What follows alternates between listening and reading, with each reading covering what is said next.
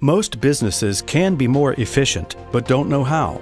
The Florida Sterling Council can help. The not for profit Sterling Council operates out of the Governor's Executive Office and offers performance excellence tools for businesses of all sizes. Get the help your business deserves at the 20th Sterling Conference at the JW Marriott Orlando Grande Lakes. This is where best practices, networking, and learning converge for the ultimate business experience. This year, the Sterling Conference includes the Florida STEM Manufacturing and Education Forum on May 31st. The forum connects education and manufacturing to grow jobs and drive Florida's economy. To register for the conference or STEM forum, go to www.flstem.com or call 850-922-5316. That's www.flstem.com.